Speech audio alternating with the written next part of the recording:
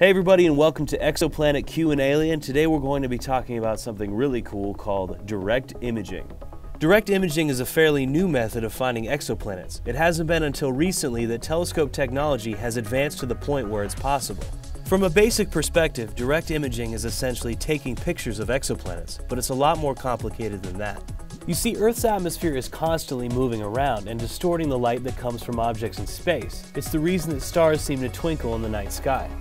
In order to get around this, scientists use a system called adaptive optics, which uses a segmented mirror that can change its shape hundreds of times per second. The atmosphere is only part of the problem though. Planets are millions of times dimmer than the bright stars they orbit and they're very far away.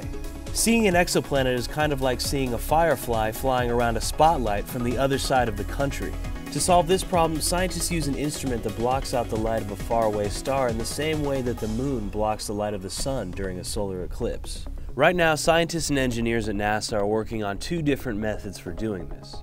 Coronagraphs, which are already being used in ground-based observatories, block starlight after it enters a telescope.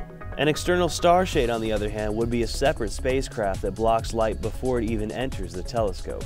Either way, these instruments have the same goal, blocking the light of a faraway star in order to see the planets that are orbiting it. Right now, the best pictures we can take of exoplanets still look pretty blurry and blobby, but we're just getting started. Future space telescopes may be so powerful that they can see stuff on exoplanets like continents and oceans and vegetation. That's all for this Q and Alien. Be sure to check out the PlanetQuest website for the latest exoplanet news, images, and videos from NASA.